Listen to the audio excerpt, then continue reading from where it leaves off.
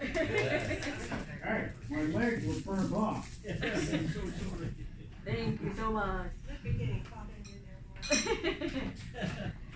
Ah, that was wonderful.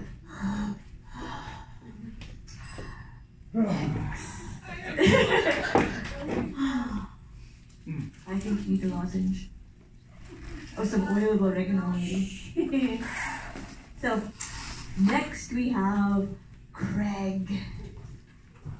Ah.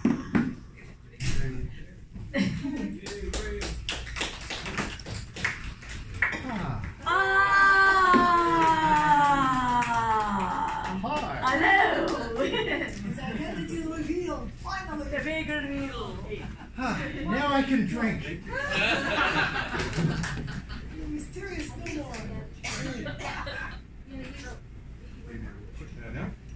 To get up. Hello. Hi, Craig. Hi. Or I mean, uh, Obi. Oh, yes. I forgot my disguise today, but I have some scary poems at home. So, uh, Horror. Stephen had a title like that in his too. Horror, the dictator. Her tongue moves over the land, a sensual thrill that leaves only stones behind.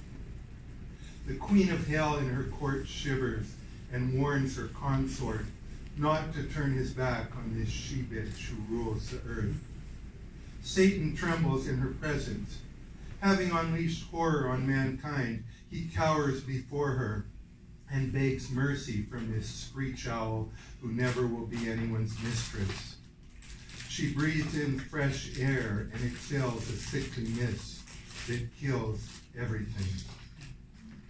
I serve this goddess who devours her own children, and, ex- and in exchange for the souls I offer, she allows me to delight in pestilence.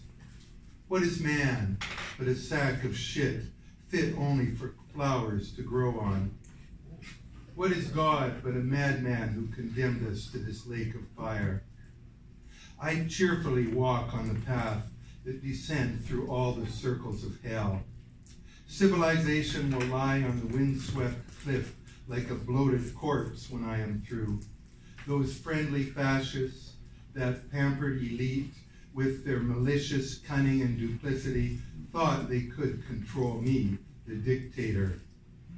After the she-bitch goddess has finished, they can settle on the earth's carcass like blowflies, but it won't be much of a feast. The earth will be left barren and poisoned. I bequeath to anyone unlucky enough to be born after my reign a slap in the face.